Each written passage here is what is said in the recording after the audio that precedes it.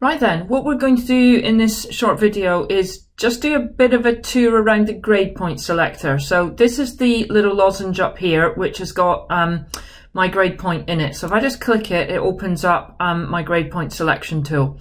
Now I've got quite a lot of grade points in Connect, which is um, a good thing to show you how to use some of these filters. So they're all grayed out at the moment until you click on the grade point. So um, I've got my main, main grade point and then three comparisons that I have available to me. You can see that I don't have to fill them. Um, I can have just one or two or three or up to four. Um, and what the main grade point does is that's the one, if you like, that's the focal point. That's the one that's going to provide you with um, the most analysis. So, for example, in the student analysis overview, that will be the um, the grade point that will be focused in on, and you won't see the others.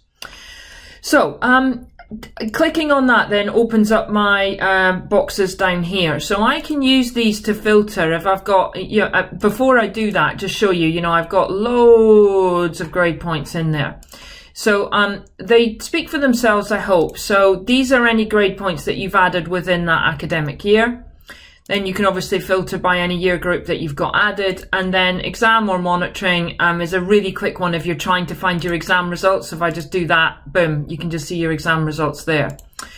So what I'm going to do is I'm going to switch. I've got a year uh, 13. I'm going to switch to a year 11. Okay, so if I want a year 11 monitoring trend, I am going to select year 11 um, and I'm going to do from last year. Okay, so 2020, 21.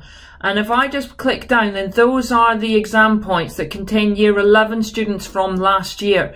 So uh, they're in order of the way that my data manager published them into Connect. So if I want the latest one, I'm going to go, I'm going to ignore the exam results. So I'm going to go into this pro tag one. And if I click that, you'll notice what happens is that it automatically chooses the three previous grade points that were published for that uh, year 11 group. Now, if I like that, beautiful. If I don't like that, then I can click and, for example, on this one, and I can delete it and the rest stay in place. Okay.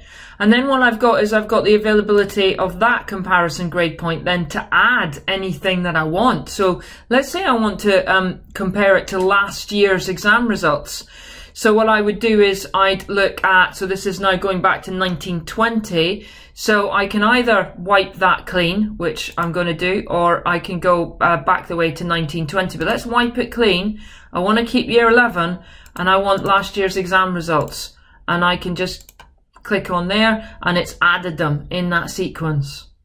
So, um, main thing about the grade point selector is then that it automatically chooses the grade points that are, are previous to that um, but you can then manipulate it. The other thing that you can do, if you don't like the order, you can use this little um, arrow thing to pull the order about like this, so you can manipulate it in that way. Um, and then uh, if you want to change it to, for example, exam results full stop, then I'll just click on that.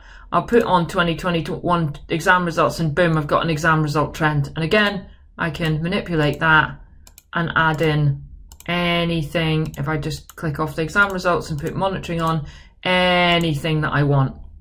Okay, I hope that was helpful. Thanks very much.